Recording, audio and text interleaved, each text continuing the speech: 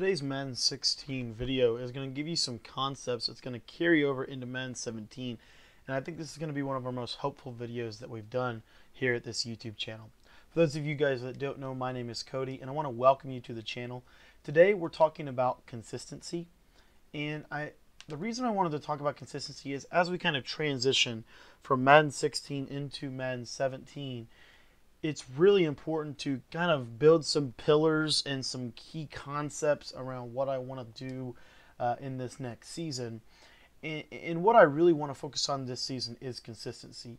Um, you know, we talked about greatness and how to become great and uh, how to be how to go basically from a good player to a great player. What is what is how do you do that in Madden? And this this consistency thing keeps coming back to my mind. Um, it's little things, guys. It's, it's it really is little things. Um, what you're going to see in this game is I'm running the same offense I've been running pretty much the most of the season. Uh, it's the Rams offense. Uh, I'm running a little salary cap ranked beta here, or salary cap ranked here. Uh, just changing up some some players here and there, but pretty much the same scheme. But what I want to do is talk about consistency, and this is kind of the takeaway. So, greatness is consistent execution over time. One of my favorite quotes basically goes like this Great people do consistently what good people do, what average people do uh, once in a while. And, and the reason I like that quote so much because I think it's so I think it's so dead on and so accurate. You know, I'm to give you guys a lot of tips, a lot of plays over this next season uh, a lot of things you can do to become a better player. But if you're not consistent, if you're not in the lab for yourself, if you're not uh, you know on the chat all the time, if you're not constantly learning and also learning how to learn, if you're not doing those things, you're not going to be successful. It really is that simple. There's several different things that are important for us to discuss going forward, but I think it all starts with this conversation about consistency. Uh, again, this idea that the best players are the most consistent practice players. And what I mean by that is they're in the gym all the time. You think about uh, the greats, they always show up an hour early to practice. They, they always stay an hour later to study film, you know, on and on and on and on. And I think it's the same approach with a game like Madden. If you want to be really, really good at this game, then it is up to you to put in the work. Uh, you know, you have to. I, I like this quote. Uh, it's a writing. Uh, so if you're interested in writing, this is a, a, something that I think is good. And and basically, this this writer's giving advice to his to his audience, and what he says.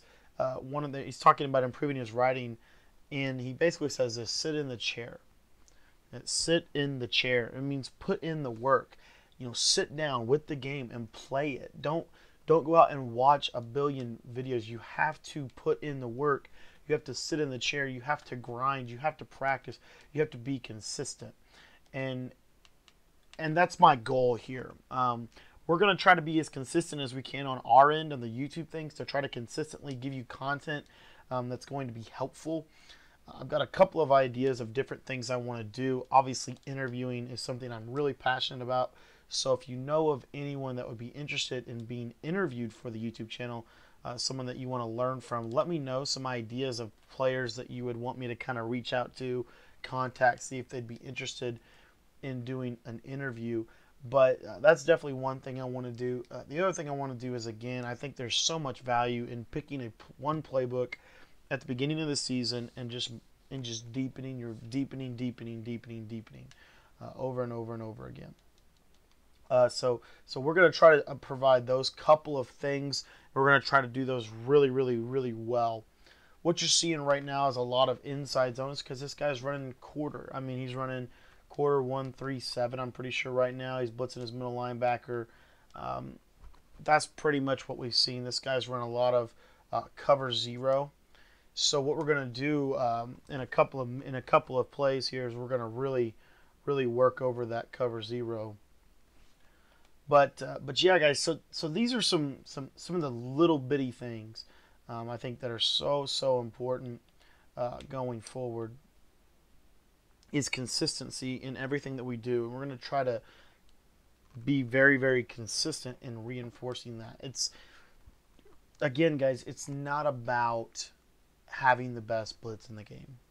It, it really isn't. It, the way the games are made now, um, you know, it's more about, you know, being able to execute, uh, being able to adjust on the fly, be, you know, doing those small little bitty things that make a huge difference. Um, so this guy is coming out. He's got outside leverage on me right here. Let me just break this down for you. So what I see in this is we've got two high safeties. He's been running a lot of cover zero.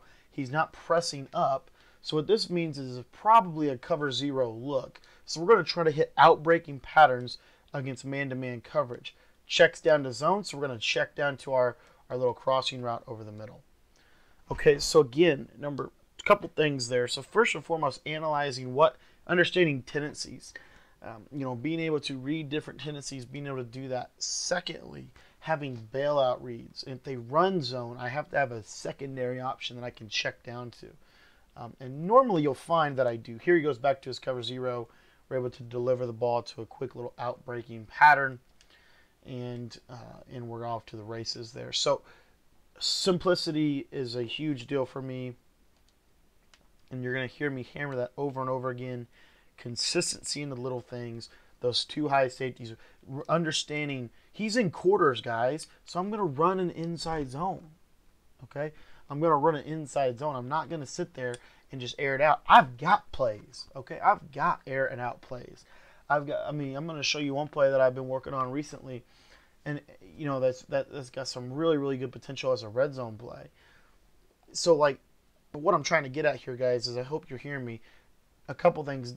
Take what the defense gives you, obviously, but even more than that, guys, this this game is is is, is really just about being consistent you know, not making turnovers. You know, we don't talk about that enough. I mean, think about how different this this this whole spectrum of B would be if we talked about, hey, limit your turnovers more. You know, what if we what if we spent more time talking about that than we did talking about trying to find the next best play? The reason I bring that up, real quick, the reason I bring that up is because we're always looking for the next best thing. And what you're going to find is the next best thing is not always as great as we think it is. We will move on to play to play to play to play. I'm going to show this in a future video breakdown. But what I want you to see today is what I try to do, guys, is be consistent. Okay, so that's that play I'm working on there. Little rocket catch in the end zone. That comes from hours and hours and hours in the exact same playbook, throwing routes with different passing trajectories. It's all about depth. It has nothing to do with width. If you try to be wider, and what I mean by that is if you try to just look for the next best play, the next best play, the next best play, the next best play, the next strong power, the next fullback dive, the next four verticals, the next uh, drive out, wh- whatever it is, you will not be successful in this business. Okay? The only way you will be successful is by being simple. Okay? Simplicity is the narrative. Okay? Simplicity is the narrative. Consistency is the game. Consistent execution throughout. Okay? Right there, I wanted to test some things out with that little red zone play, see if that wheel route was as good as I thought it was. Turns out he didn't get his feet down, so now I'm going to make an adjustment to that for the future but it's just it's just little bitty things, guys, and I can't stress that enough. Uh, I've been in the same defense all season long. I've been in the same offense for most of the season, uh, and I want to talk a little bit about uh, one thing here in a moment. You're going to hear and you're going to see this um, played out on defense here. If I can get things set up. Okay, so we're going to take a timeout here real quick. What you're going to see on this is, on defense here, and we don't talk about this enough either. Don't beat yourself on play one, okay? Uh, don't beat yourself on play one. If you've got a great blitz, awesome. More props to you. Great job. Do not beat yourself on play one. We don't talk about that enough, guys. This game is a, is is is so lo- so much longer than we think. Um, I think we get a little bit carried away with the time because we only have five minute quarters or four minute quarters or whatever based on the mode you're playing. You know, you may have a little bit more, but for the most part, we have, you know, about five, uh, you know, about about four to five minute quarters. And what I'm seeing a lot of people do is they throw their best blitz at people on play one. Why would you do that? Like, why would you do that? Why wouldn't you try to fill them out a little bit? At least get a, a feel for what this, what are they going to run? So that when you call the zone blitz, then you know where they're going. Okay? We need to focus more on that, and that's a that's a little nugget you can take, apply to it your game plan. Um, you know, I don't think we talk enough about how to game plan, how to put a game, a, a true game plan together, together, and really, really play this game um, as players, and not just people who are sitting there running plays because we think we have the best blitz. Okay, it's not about that. Trust me, I know I've been there. I've tried to do it like that. It doesn't work. Okay, it doesn't work. It's that simple. It doesn't work long term. You will only be, you, you know, uh, for example, this season, a lot of people were good because the double loop blitz was really, really effective. If they fix that blitz, how good do you think those players are going to be next season? You know, some of them will be good, some of them will not be as good. And you see this every season. The reason I bring this up is because the people who are good year in and year out, they're able to put it together um, it's not just about one play. They don't just find one blitz. It's not one little thing. It's several things, several small things done consistently. Okay, so what I'm gathering here is I'm gathering data on this first drive. I understand, okay, we've got power O, we've got halfback will. Those are the main things that he's doing. I'm just trying to fill him out. Two men under is very good coverage this season. I've got a little blitz out of here that gets a little bit of pressure, um, as you can see there coming through. So this guy's in the Browns, either the Browns or the Pats playbook, probably because he's running this X drag uh, trail. Uh, one of the most overrated plays in the game, in my opinion. It's not as good as everyone talks about. It really can't really beat man coverage that well, in my opinion. Um, just just my personal opinion. I wouldn't run it um, unless unless I didn't have shotgun tight. Um, but anyway. So again, two minute here. He's going to flip it. He's going to flip this side. So I'm going to play this little running back route here, try to overplay it a little bit because he's been going to that. And there we see we get a sack. Okay, so you see little bitty adjustments, little bitty tweaks here and there, and I'm able to get a sack, set myself up, get a big time defensive stop here in the first half. Now I'm in my in a really good position. Now, even if he would have scored a touchdown, I gathered so much data on that first drive. Okay, I understood Z spot, X drag trail, uh, halfback wheel, and power O are his kind of key plays uh, that he's going to go in and out of. You know, so now it kind of comes down to, um, you know, it's all about being able to, you know, be good with uh, being able to shut down where he wants to go when he wants to go there. Um, that was a good that was a good little route there. I think that was Y corner. Yeah, Y corner with a little in, interior post. That's a good little play there. But just showing him the similar look, showing him when he sees this defense, more than likely going to be two men under. He's going to try to run that power game. So here, runs the power game. Now we're down in the five yard line. I hope what you're seeing is these are very, very little things, okay? When you're in this situation, simplicity is your friend because what happens is we get so carried away with trying to make so many different adjustments that we'll get we'll leave our, our defense out to dry. I try to stay very, very simple in the first half because what I don't really have any data. I have to I have to get a read on what is he gonna do. So here he goes, tries to score real quick, doesn't. I'm gonna burn a timeout here, um, just to kind of try to get a feel here. So he's gonna run that power O more than likely. So I'm gonna jump into this 335 autumn line. And see if got, got everything in. So this is a base red zone defense. See what he does here. And we'll get some pressure. So not too bad. But I hope you guys are seeing what I'm saying. These are very small things. On this first half, he's just getting a standard, you know, standard base. This is what I run. um, you know, show me, show me where you're gonna go, kind of deal.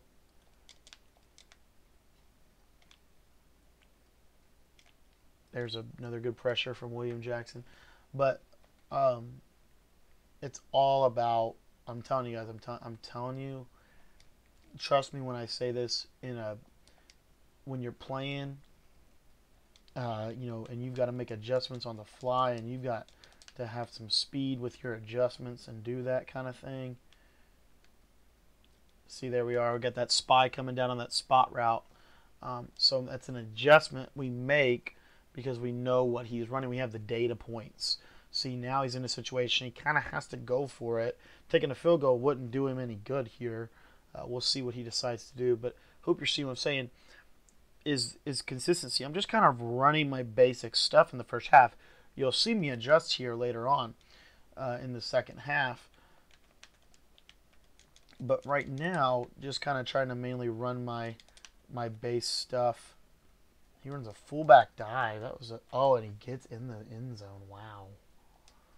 But I think that was that Brandon Jacobs. The guy's like six six or something. That was an intriguing truck animation that that guy got because he's like a 60 overall.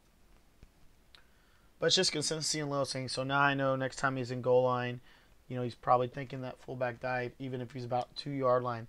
Very interesting that he went with that call though. Just what you just wouldn't normally see that. We had it kind of. I mean, in my opinion, we were fine. Uh, you're not going to get that trucking animation consistently. And again, it goes back to what I'm saying. This is all about consistently. We're trying to. We're trying. Um, I, I like this concept. We don't try to be. Um, you know, we we don't try to to hit tens all the time. So if you, use a baseball analogy, we're not trying to hit the home run every time. What we're trying to do is we're trying to bat for doubles. Uh, we're trying to shoot into gaps. Okay, we're trying to get good percentage kick or uh, or or hit. Same kind of thing uh, with with with playing. You know, I'm not trying to do anything too crazy. I'm just trying to simply, you know, consistency, consistency, consistency consistently hit for a good average. Um, sometimes, you know, so, you know, sometimes they'll dive in the middle of the outfield and make a great play and catch that shot, but consistently they're not going to make those plays. Okay, so you tip your cap to them when they make the play, but for the most part, you understand you're pretty good. Okay, so that's kind of the concepts that I bring to the table here. It's about that consistency. I, I'm trying to help you guys, you know, win about 70% of your games here.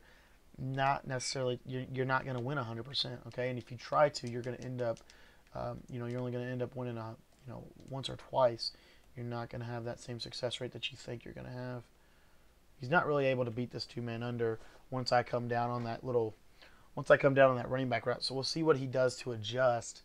Um, here we're going to change it up on him go with some zone pressure so that I can come down even harder goes to the power O he's been mixing that power O in. It's actually done fairly well with it. But I hope you guys see what I'm saying. I mean, normally I run that 335 odd, and, and especially once I get a read on you. So last time he went over the middle here. And there's some pressure. So we got him in a fourth down and 18. Should punt the ball here to us. So good defensive stand. But I hope you guys see what I'm saying. Consistency. So on offense here, uh, our read has been he's kind of running a lot of two man, uh, a lot of cover zero. Mix that in a little bit. Um, so what we're going to try to see here, we're going to really in this situation. So again, go back to situational football because that's a, one of the most important things I can talk about. So we got the ball here. You got about two minutes left. Uh, one possession battle right now. I'm thinking we got to get ourselves in a position to run some goal line plays. Okay, so we're gonna inside zone that. If he come out in quarters and he did, you know, we're gonna hammer that inside zone.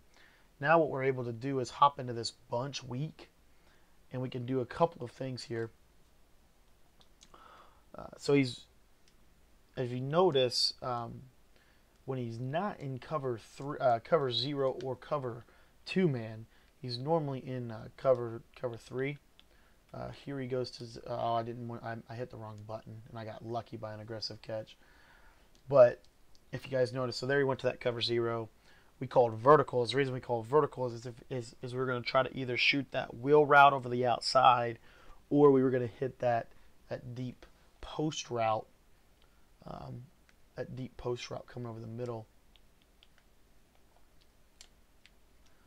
And there was a good play by his defensive lineman there.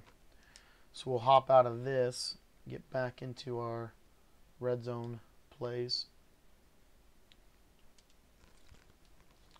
But it's just small little small little things, making sure you're being consistent with your offense so that you're making the proper read.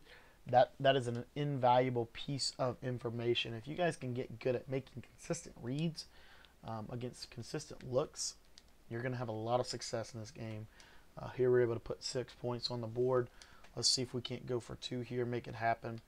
Got a couple of different plays I like in the red zone. Uh, wide trellis uh, is becoming one of my favorites um, just because I think it's pretty consistent. I haven't had a whole lot of trouble. I don't think I've ever really had any trouble. We'll see what this guy does with it. But normally he's able to catch that right there, that little high pass lead on the cutback. Um, at least once or twice I'll throw that. It'll do pretty well for me.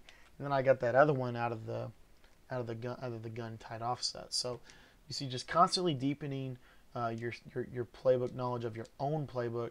And I'm and, and again, I think it's important to study other playbooks, um, deepen your knowledge of all the playbooks.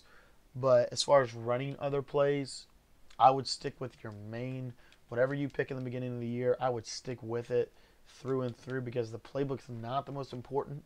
The execution is, and if you're going to good execution, you need to have good, solid repetition. Uh, there, the defense comes through for us, gets a sack. He's not handling that pressure very well. Uh, we're able to get in there, get a sack fumble, and uh, and make some plays. So I hope you see what I'm talking about here. I hope this is making sense. If it is making sense, um, you know, leave a like rating. If it's not making sense, ask some questions in the comments. Let me know, uh, you know, what is not making sense so that I can kind of clarify uh, where I'm coming from uh, for you guys out. It was a terrible, terrible timing on that play from Brady. Threw a little too early. So, so right now, right. So this is, and again, consistency. So how do I close this game out in a consistent way? You know, how do I not give up big plays? I run two man under. Um, you know, I know it's not the pop. I mean, I know it's the kind of cheesy thing to do, but why would you not run two man under in this situation. I mean, this is this is tailor-made two man under time right here. This is golden. I mean, we are golden. If we run two man under, and he's running this this scheme that he's running, he can't beat it. He can't beat man. I mean, you can you guys have seen that over and over again. The only route that he has is a table route to the running back. So here we're gonna get PA shot wheel or whatever. Maybe get Z spot. We got halfback toss. we'll just tackle Steven Jackson. Yeah, Steven Jackson's not as good as everybody thinks he's thinks he is in this in this mutt game. I think Steven Jackson's a little overrated. I think the I think people are jumping on the bandwagon uh, because um, the guy from Madden Daily was able to make him look pretty good in a couple of games in a Madden tournament. In my opinion, that's what's going on, but I could be wrong. So here he's going halfback wheel. And we got a flat zone over there now. So you see how we're kind of consistently changing changing up here. We need to be back out of this. We need to get back in that big dime. Like I love that nickel 335 odds so much that it's hard for me to kind of go away from it. Uh, it's hard for me to stick with big dime, but right now this is the obvious, obvious play call. It's running the same plays. Got this little little route to the running back. Corner route can't beat man because I've got plus uh, 96 plus man coverage. If you have 96 or higher man coverage, your uh, my research shows me you have 96 or higher man coverage. Cover two man is is very very difficult to beat unless you have specific route concepts. Um, and this guy does not have those route concepts right now. At least he hasn't shown them. Corner routes are not going to beat it. Um, just my experience. Um, so here we go. There's a slant, but we got that pressure in. Uh, he's not doing a good job at picking up the pressure. I think he's going to go ahead and quit out here. So, guys, if there's one takeaway from this, be consistent. Okay, be consistently watching my videos. Uh, be consistently watching other people's videos. Be consistently in practice mode. Be consistently playing games. Consistency is the key to being successful. I want to end with my quote that I began with earlier. Great people, successful people, great people, those guys, great people, they do consistently what average people do once in a while. Take that and apply it uh, to Madden, apply it to your life, whatever you want to do with it. I think that's a great quote. I think that's a great place to end. So if you enjoyed this video, please subscribe. And if you have any questions about what I talked about, be sure to ask me in the comments below.